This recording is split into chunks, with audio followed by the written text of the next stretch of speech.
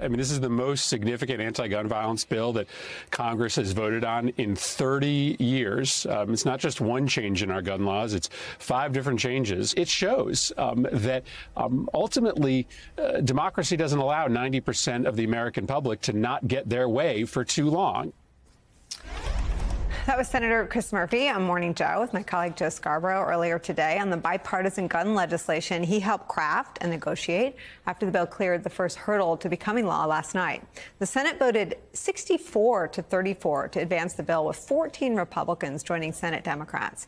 If passed, it will enhance background checks for people under 21 years old. It will direct millions of dollars toward helping states implement red flag laws. It'll close the boyfriend loophole, expand resources for mental health care and school safety, and toughen penalties for evading licensing requirements. Leaders in the U.S. Senate say they hope to have the bill passed by Saturday. It would be the first piece of major federal gun legislation passed in nearly 30 years.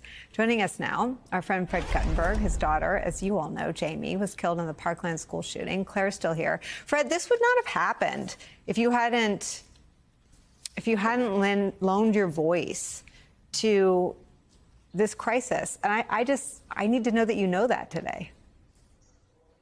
Um, I worked with some really amazing people, and and and and I lent Jamie's voice. Um, I, honestly, um, I would give anything to go back to being a goofy dad. Um, but but Jamie was the toughest human being I knew, and uh, Jamie and I, we did this together with amazing, amazing people, including my dear friend who you just showed, Chris Murphy, uh, and people who he trusted more than I did. And I give him credit for that because, Nicolle, I was on your show with Senator Murphy back in, I think, December. Yeah. Um, and I was challenging him then to give up on the effort to reach across the aisle and just to go to the floor and force a vote to break the filibuster and all of that stuff. Um, he was right to continue working it. Candidly, I have been um, pretty aggressive with how I feel about Senator Cornyn. But in fairness, I've always said um, I will publicly embrace any human being who does the right thing on this, and and I look forward to seeing Senator Cornyn and just giving him a big hug, because, because I just I I can't say thank you enough.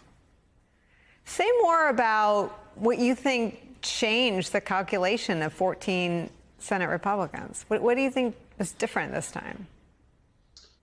You know, it's a great question.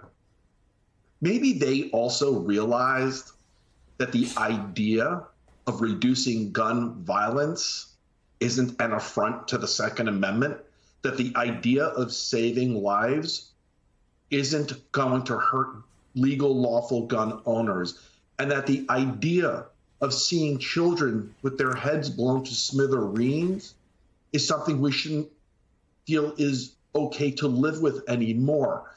Um, I, I will tell you, I think since Parkland, when you look at the work of all of the amazing kids and the adults who have really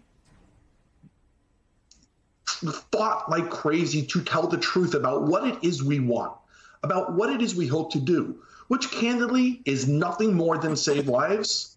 I think it finally broke through. We we get the the 64 votes last night. That's 14 Republicans, but it would have been 15 um, but there was one absence. But it'll be 15. Right. It may even go to 16 or 17. Yeah. And we'll get Republicans in the House as well. This is going to be a bipartisan effort. It's so important, and and you know, I, I remember that interview with you, and um, I don't think I played an objective host in any way. I, I saw it the way you saw it, um, um, but I, I want to ask you about your journey and your fight because it's always about Jamie. We, we talk about Jamie more than, than we talk about any individual bills or really any any politicians in either party. Um, tell me about your journey. This morning I woke up I cried like a baby.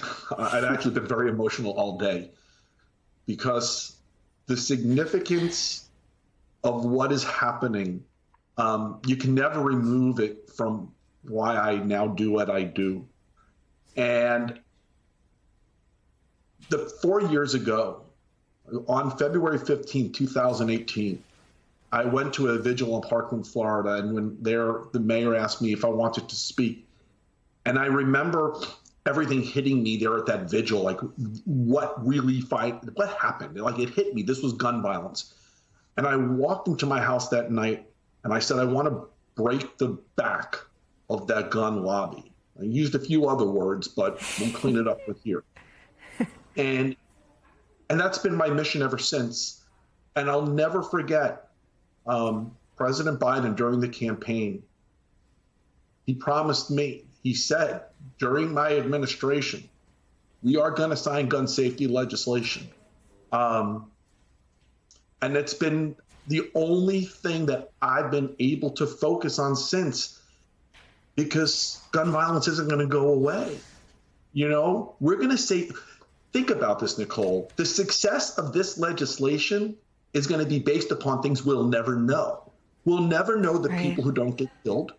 We'll never know the families who don't get broken, but it's going to save lives.